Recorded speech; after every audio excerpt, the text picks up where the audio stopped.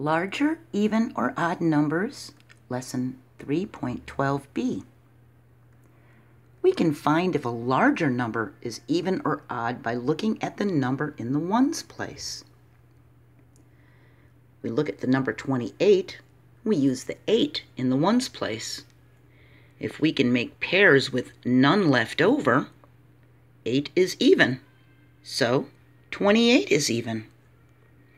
We just use the number in the ones place. We don't have to make 28 dots and then make pairs. We can just use the ones place. Look at the number 43. We use the 3. We make pairs with the 3. We can see there's one left over, so 3 is odd, so 43 is odd. 97, we use the 7 we make pairs, and there's one left over.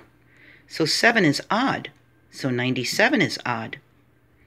If the ones place is odd, then the 97 is odd. 82, we use the 2. We make a pair. There's none left over, so the 2 is even. That means 82 is even. If the number in the ones place is even, the entire number is even. If the number in the ones place is odd, the entire number is odd. We make pairs with the 6. There's none left over. 6 is even, so that means 16, 26, 36, 46, 56, 66, 76, 86, 96. It ends with a 6, and 6 is even, so these are all even. 5 is odd. We have 1 left over when we make pairs.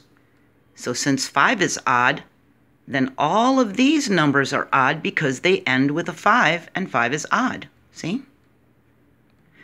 So no matter how big the number is, even if it's a million something, if it ends with a number that has none left over, then it's even. And if it ends with a number in the ones place that does have one left over after making pairs, then it's odd, okay? You could do that to any huge, gigantic number and tell if it's even or odd just by looking at the ones place, okay? You're going to come across these in your work coming up soon. So it's really important to be able to tell these apart, all right? I'll see you next video. Bye.